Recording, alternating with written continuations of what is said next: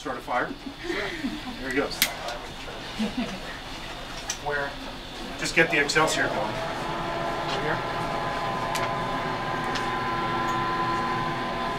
So what I want to demonstrate here is that basically when you see the flames, you'll see nothing over here while we're here for the next five or ten minutes.